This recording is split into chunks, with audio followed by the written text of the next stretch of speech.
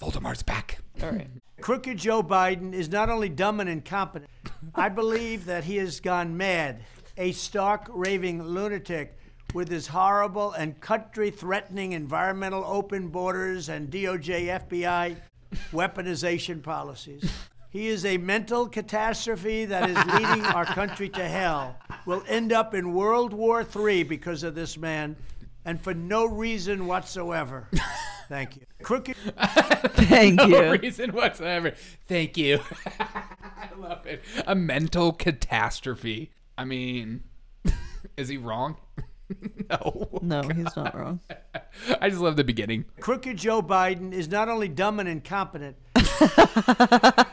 Trump is Jesus. Dude, he's, I freaking miss him in office so much whenever he talks. This guy is dumb and incom- incompetent. I believe that he has gone mad.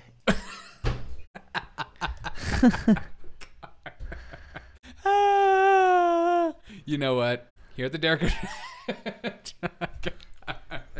Thoughts? I do miss the tweets.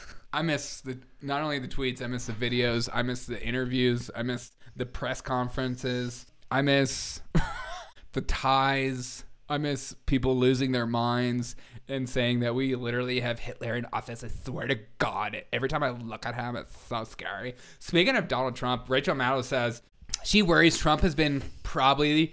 Uh, Trump will probably be president for life if he wins in 2024. Uh, hopefully. We're all praying. Well, okay. Could she mean that president for life? So, like, she thinks he's gonna die in four years? Okay, okay, yeah, maybe. I mean- maybe, maybe yeah, maybe Like, I maybe I misconstrued it. no, I think no. She means like he thinks that he's going to just be president forever and he's going to take over and become king. Which at this point, maybe we maybe we need a king, a King Trump. Here he, here he. you guys are all a bunch of idiots. United States will now only be drinking Trump ice. No longer the pr- the water from the crappy sewer systems. but Rachel Maddow is a psychopath. God. Or the one of the greatest grifters on MSNBC known to mankind. that's what it is. Fun fact, Rachel Maddow's favorite wine is boxed. Gross. Same girl. Shout out to boxed wine everywhere. A great night for Rachel Maddow is I don't even know what a cringy TV show is. Uh, Gilmore Girls. Oh my oh my god. Dude, I just got PTSD. Don't say that show. I used to date a girl Oh no. And she used to force me to watch Gilmore Girls with her. And obviously the relationship didn't last. And you loved it. and I absolutely loved it. And now I can talk like one of the girls. I'm always just like, yeah, Gilmore Girls is a real show.